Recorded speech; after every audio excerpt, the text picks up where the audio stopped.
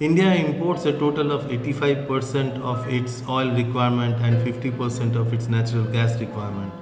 It spends a whopping $119 billion out of the 560 foreign exchange kitty that it has. Energy accounts for nearly 7.5% of the CPI. With all this, you can understand how much is the dependency of oil on international market and the rate fluctuations. So what have we done to ensure that we don't end up in a crisis because of countries which are outside India's purview? So following video is going to talk about the steps that the government has taken to ensure our oil security rather than energy security in total. So it has done a six step process. Number one, uh, India is trying to diversify sources of crude oil. Previously, we were buying crude from 27 countries in the year 2006-2007 whereas presently it's being sourced from 39 countries. So it has added new suppliers like Colombia, Russia, Libya, Equatorial Guinea, etc.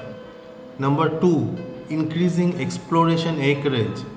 We were working on an approximate acreage of 0.2 million square kilometers which has been increased to 0.5 million square kilometers by 2025 which is an increase of 120% and 1 million square kilometer by 2030 which is an approximate increase of 250%. Of course, as we can understand, as we increase the acreage, we can expect new sources of oil and crude to be available to us. Point number three, renewable energy. India presently has an installed capacity of 172 gigawatts and it's expected to go up to 500 gigawatts by the year 2030.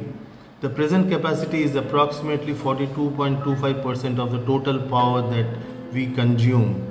There are many more initiatives in renewable energy like providing uh, solar pumps, national portal for installing rooftop solar systems, transmission lines and substations, massive wind energy, uh, PLI schemes for high efficient PV modules and state-of-art solar-powered village in Gujarat. So all these initiatives has been taken by the government to ensure that we go in a, a carbon neutral and also self-sufficient energy curve going forward.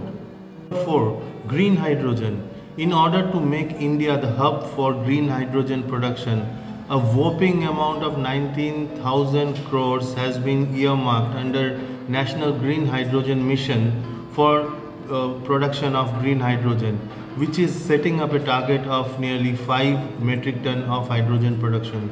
Now to put it into perspective how much is the 5 metric ton of hydrogen? It is approximately equal to 17 lakh kiloliter of diesel so that much is the quantity that uh, energy that the 5 metric ton of hydrogen can produce. The leading producers of hydrogen presently who are pursuing producing hydrogen are Adani, Reliance, Indian Oil, ONGC, etc.